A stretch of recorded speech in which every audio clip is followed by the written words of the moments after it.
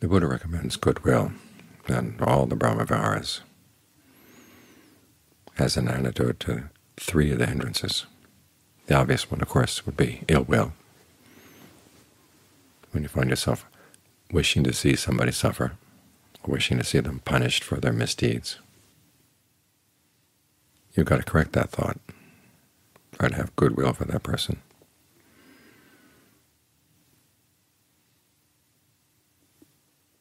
When you get anxious about things that you've done in the past, harm you've done,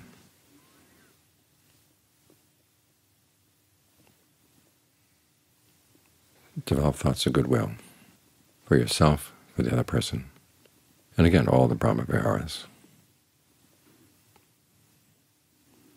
Compassion for that person if the person is suffering, empathetic joy if the person has found some happiness, and some equanimity around the whole issue of karma. That helps to settle the mind. You recognize that you made a mistake. You don't deny it. But at the same time, you don't get buried in the mistake. You simply resolve you're not going to repeat it, and then you use goodwill and the other Brahmaviharas in order to strengthen that resolve.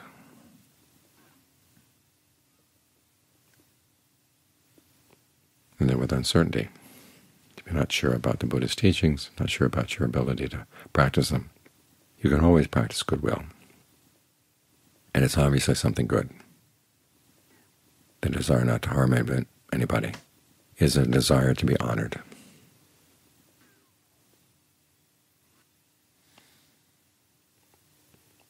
What's interesting is that although the Buddha places a lot of importance on the Brahmaviharas, he does mention one, that they don't take you all the way. They have as their goal union with Brahma, which is an inferior goal. But you can take the concentration that comes from them and use that concentration as a basis for discernment so that can be part of the path, even though they're not the whole path. The other thing that's interesting is the Buddha doesn't give that many instructions on specifically how you do it. With breath meditation, he's got the 16 steps. But with goodwill, there's not much. There's simply an image just as a conch horn player would send the sound of his horn in all directions all at once. You don't want to make any exceptions for your goodwill, or your empathetic joy, or your compassion, or your equanimity. In other words, you try not to be partial. But the steps in doing that are not laid out. The Buddha gives some hints here and there. There's that case where he says you're being pinned down by some bandits, and they're going to saw you into little pieces. He says you have to have goodwill for them. In fact, you start with them, and then you spread the goodwill throughout the universe. You start with them because who knows how much longer you're going to last. And you want to make sure that your last thought is not of ill will for them, because if it is, that might lead you to be reborn in some way connected with them. And you don't want that.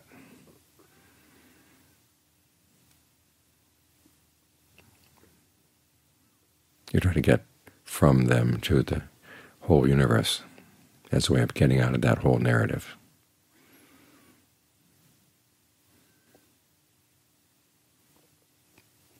And there are the places where the Buddha says that if you are angry at somebody,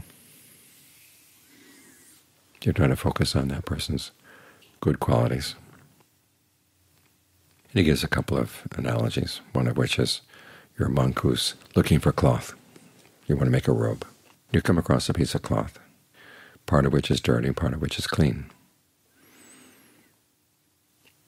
So you pull the clean part away from the dirty part, cut it off, take that, leave the dirty part behind.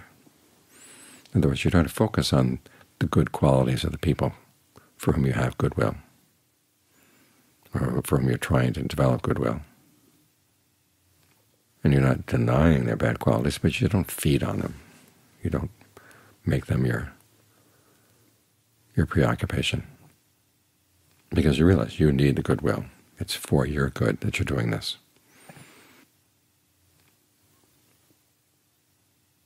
And there are a couple of places where the Buddha recommends what might be called metta phrases. One of which is, may these beings be happy, free from danger, free from oppression, and may they look after themselves with ease.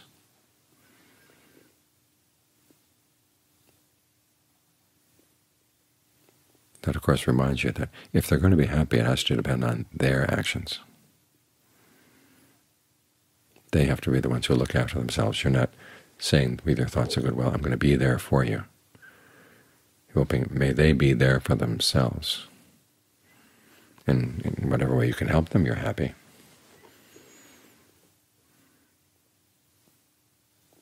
There's a similar passage in the Karaniya Metta Sutta that we chanted just now. May no one despise anyone, or through irritation wish for anyone to suffer. And you're hoping that people will avoid the causes for unhappiness or for pain, suffering.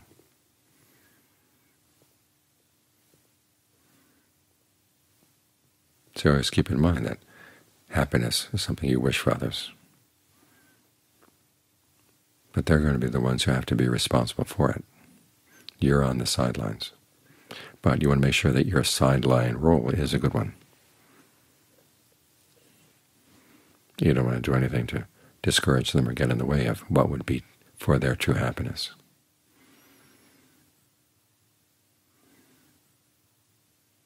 As for the other Brahmaviharas, the Buddha doesn't have any specific phrases at all.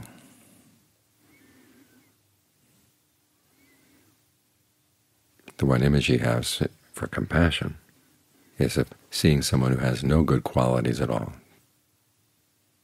In other words, to make a comparison with that piece of cloth. The monk sees that there's a dirty piece of cloth.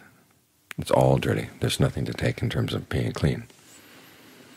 So he would leave that.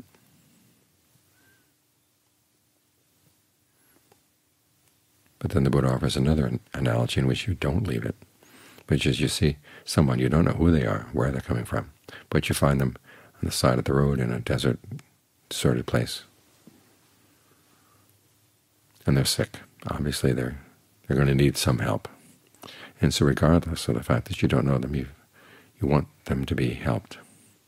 You feel sorry for them. That's his image for compassion. So notice it's not just for people who are already suffering, it's for people who are doing things that are going to lead to suffering. By extension, you would expand that to empathetic joy mudita.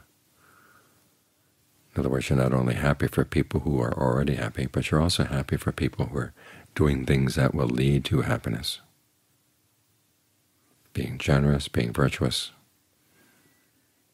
You see people meditating, and you're happy for them.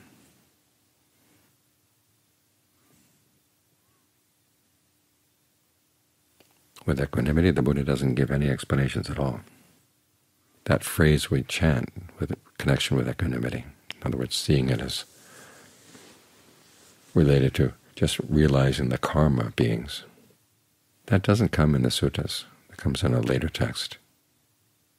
In the suttas, the Buddha actually makes a distinction between developing equanimity and contemplating karma. So that's kind of a mystery. But contemplating karma does help you put aside concern about issues over which you have no control. You realize that you have your karma, other people have theirs, and sometimes it's just not possible for them to be happy. And there's nothing you can do to help. This doesn't mean that you totally abandon them. It means simply that for the time being you've got to put that issue aside, put it down so you can focus on areas where you can be of help.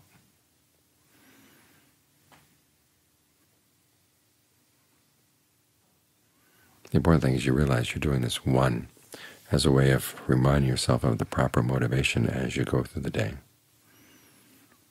Everybody you deal with, you want to have goodwill. And if they're suffering or doing things that would lead to suffering, you want to have compassion for them. If they're already happy or doing things that would lead to happiness, you want to develop empathetic joy. And for areas where you can't help, okay, that's where you want to develop equanimity. But you also develop these attitudes as a way of developing concentration. As you're sitting here right now, sometimes, as the Buddha says, when you're focusing on the breath, there's what he calls a fever in the body. In other words, it's hard to focus on the body. Or there's a fever in the mind. It's something in the mind just doesn't want to settle down. You might find that the Brahma Viharas are a good alternative.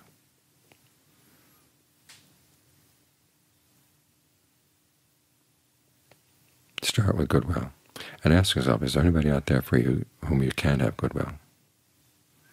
And there might be some people who come to mind,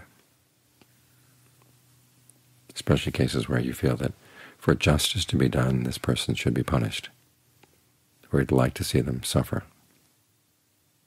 It's funny, that kind of justice is not right you. The world would be a better place if that person could see the error of his or her ways and then change. That will not make the karma that person has done go away, but it means that they're not creating new karma, or new bad karma. And that, as I said this morning, is compared by the Buddha to the moon at night, when suddenly the clouds go away and the moon lights up the landscape.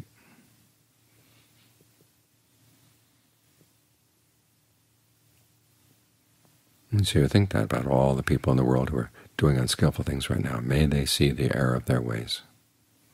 And if there's anything I can do to help, I'm glad to help. That's an attitude you can spread around without any hypocrisy. It can go all around the world and beyond.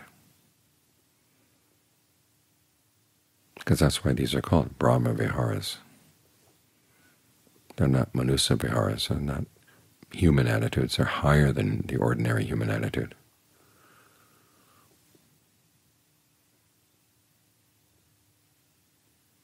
You want to be able to extend them to all beings everywhere, in which case you're giving safety to them and you're going to have a portion of that safety as well.